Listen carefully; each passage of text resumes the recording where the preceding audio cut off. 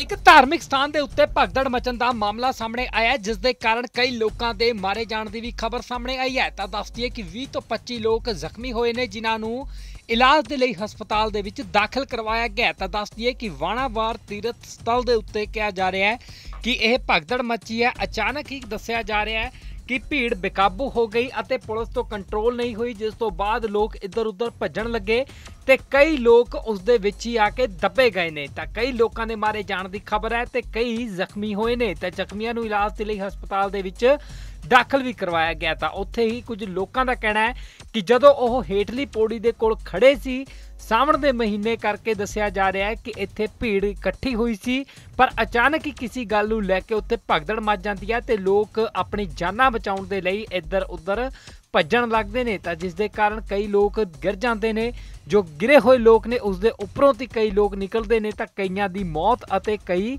ਜ਼ਖਮੀ ਹੋਏ ਨੇ ਜਿਨ੍ਹਾਂ ਨੂੰ ਇਲਾਜ ਦੇ ਲਈ ਹਸਪਤਾਲ 'ਚ ਦਾਖਲ ਕਰਵਾਇਆ ਗਿਆ ਤਾਂ ਬਿਹਾਰ ਤੋਂ ਇਹ ਮਾਮਲਾ ਸਾਹਮਣੇ ਆਇਆ ਹੈ सर ढकला ढकली होने लगा एक बैग में मतलब और इतना ज़्यादा भीड़ हो गया कि मतलब भीड़ कंट्रोल नहीं हो पाया। और जिधर किधर एकदम मतलब दब दबा ज़्यादा हो गया।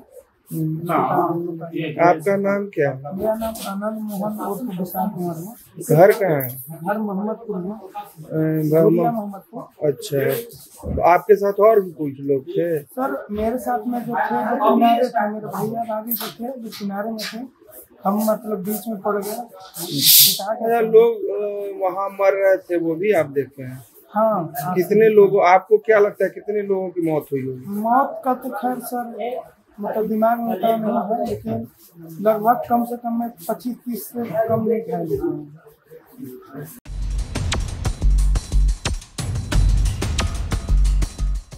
ਇੱਕ ਧਾਰਮਿਕ ਸਥਾਨ ਦੇ ਉੱਤੇ ਭਗਦੜ ਮਚਣ ਦਾ ਮਾਮਲਾ ਸਾਹਮਣੇ ਆਇਆ ਹੈ, ਜਿਸ ਦੇ ਕਾਰਨ ਕਈ ਲੋਕਾਂ ਦੇ ਮਾਰੇ ਜਾਣ ਦੀ ਵੀ ਖਬਰ ਸਾਹਮਣੇ ਆਈ ਹੈ। ਤਾਂ ਦੱਸ ਦਈਏ ਕਿ 20 ਤੋਂ 25 ਲੋਕ ਜ਼ਖਮੀ ਹੋਏ ਨੇ ਜਿਨ੍ਹਾਂ ਨੂੰ ਇਲਾਜ ਦੇ ਲਈ ਹਸਪਤਾਲ ਦੇ ਵਿੱਚ ਦਾਖਲ ਕਰਵਾਇਆ ਗਿਆ ਤਾਂ ਦੱਸ ਦਈਏ ਕਿ ਵਾਣਾਵਾਰ ਤੀਰਥ ਸਥਲ ਦੇ ਉੱਤੇ ਕਿਹਾ ਜਾ ਰਿਹਾ ਹੈ ਕਿ ਇਹ ਭਗਦੜ ਮੱਚੀ ਹੈ। ਅਚਾਨਕ ਹੀ ਦੱਸਿਆ ਜਾ ਰਿਹਾ ਹੈ ਕਿ ਭੀੜ ਬੇਕਾਬੂ ਹੋ ਗਈ ਅਤੇ ਪੁਲਿਸ ਤੋਂ ਕੰਟਰੋਲ ਨਹੀਂ ਹੋਈ, ਜਿਸ ਤੋਂ ਬਾਅਦ ਲੋਕ ਇੱਧਰ ਉੱਧਰ ਭੱਜਣ ਲੱਗੇ ਤੇ ਕਈ ਲੋਕ ਉਸ ਦੇ ਵਿੱਚ ਹੀ ਆ ਕੇ ਦੱਬੇ ਗਏ ਨੇ। ਤਾਂ ਕਈ ਲੋਕਾਂ ਦੇ ਮਾਰੇ ਜਾਣ ਦੀ ਖਬਰ ਹੈ ਤੇ ਕਈ ਜ਼ਖਮੀ ਹੋਏ ਨੇ। ਤੇ ਜ਼ਖਮੀਆਂ ਨੂੰ ਇਲਾਜ ਦੇ ਲਈ ਹਸਪਤਾਲ ਦੇ ਵਿੱਚ ਦਾਖਲ ਵੀ ਕਰਵਾਇਆ ਗਿਆ। ਤਾਂ ਉੱਥੇ ਹੀ ਕੁਝ ਲੋਕਾਂ ਦਾ ਕਹਿਣਾ ਹੈ ਕਿ ਜਦੋਂ ਉਹ ਹੇਠਲੀ ਪੌੜੀ ਦੇ ਕੋਲ ਖੜੇ ਸੀ ਸਾਵਣ ਦੇ ਮਹੀਨੇ ਕਰਕੇ ਦੱਸਿਆ ਜਾ ਰਿਹਾ ਹੈ ਕਿ ਇੱਥੇ ਭੀੜ ਇਕੱਠੀ ਹੋਈ ਸੀ ਪਰ ਅਚਾਨਕ ਹੀ ਕਿਸੇ ਗੱਲ ਨੂੰ ਲੈ ਕੇ ਉੱਥੇ ਭਗਦੜ ਮਚ ਜਾਂਦੀ ਹੈ ਤੇ ਲੋਕ ਆਪਣੀ ਜਾਨਾਂ ਬਚਾਉਣ ਦੇ ਲਈ ਇੱਧਰ ਉੱਧਰ ਭੱਜਣ ਲੱਗਦੇ ਨੇ ਤਾਂ ਜਿਸ ਦੇ ਕਾਰਨ ਕਈ ਲੋਕ ਗਿਰ ਜਾਂਦੇ ਨੇ ਜੋ ਗਿਰੇ ਹੋਏ ਲੋਕ ਨੇ ਉਸ ਦੇ ਉੱਪਰੋਂ ਦੀ ਕਈ ਲੋਕ ਨਿਕਲਦੇ ਨੇ ਤਾਂ ਕਈਆਂ ਦੀ ਮੌਤ ਅਤੇ ਕਈ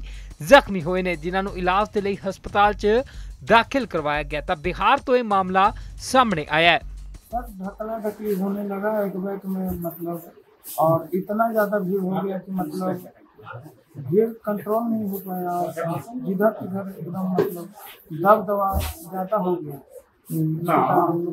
आपका नाम क्या है? मेरा नाम आनंद मोहन उर्फ़ विशाल कुमार है। घर कहाँ है?